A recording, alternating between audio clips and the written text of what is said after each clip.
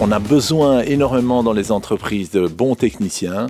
Ce sont de très beaux métiers, c'est pas simple et malheureusement l'image liée aux études techniques n'est pas assez bonne et je pense qu'au niveau politique il y a moyen de changer ça. Notre premier frein à la croissance, à répondre aux besoins du marché, c'est trouver euh, les talents.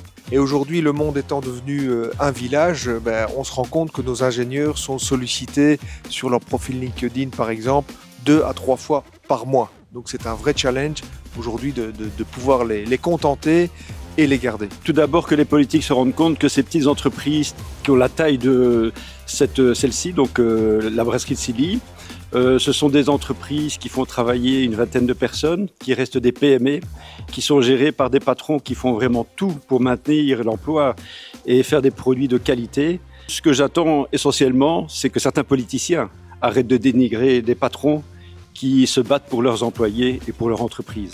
Donc ce qu'il faudrait, ce serait réduire les taxes sur le travail pour que la personne qui travaille ait plus de salaire poche. Surtout de faire en sorte que ce soit facile d'engager des gens et que les charges patronales euh, soient beaucoup plus basses qu'elles ne le sont aujourd'hui. Tous les matins, je me réveille avec euh, l'envie de travailler, l'envie d'aller plus loin euh, et de continuer, mais j'ai besoin de talent et engager de nouveaux talents aujourd'hui, c'est extrêmement compliqué.